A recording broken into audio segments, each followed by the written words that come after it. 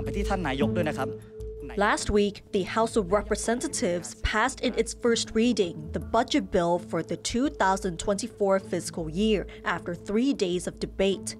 It was approved by 311 to 177 votes, with four abstentions. Of the 3.48 trillion baht in the 2024 budget, 606 billion is allocated to the central fund. The top five ministries in terms of budget allocation are the Interior Ministry, followed by the Ministries of Education, Finance, Defense, and Transport. This fiscal year, the Education Ministry will be allocated 328 billion baht. In fact, the Education Ministry has been receiving one of the highest budget allocations during the past decade. The actual amount has, however, been decreasing over the years.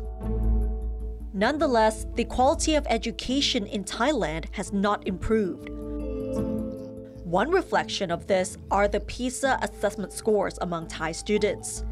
Their scores in reading, mathematics, and science have reached a new low in more than two decades. This also includes English proficiency in Thailand being among the lowest in the world, as well as the learning loss among underprivileged Thai children. Many opposition MPs have been pointing out the flaws in Thai education, including how the budget allocation for the education ministry is being used the wrong way.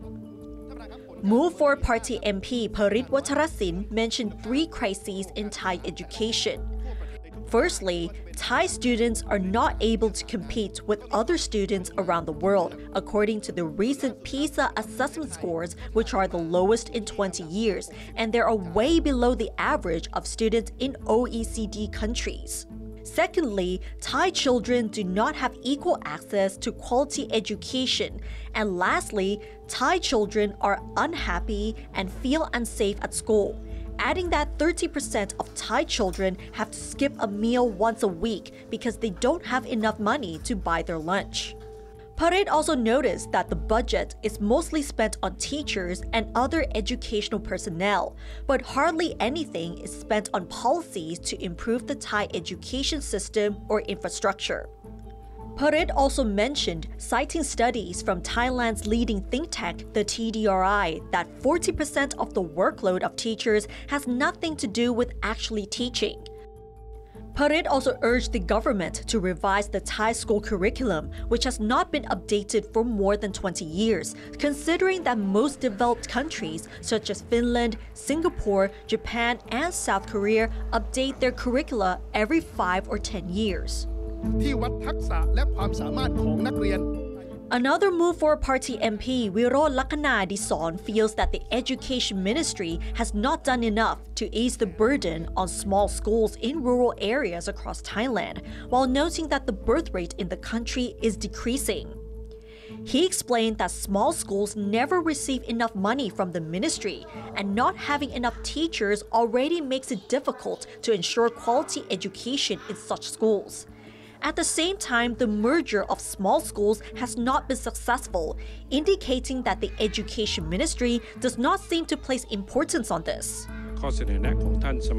The newly appointed Education Minister, Police General Permpoon Chidchob, appears to be aware of the problem and announced ways to improve Thai education during the budget bill debate. One of them is to reduce the workload of teachers and education personnel and introduce hybrid teaching methods.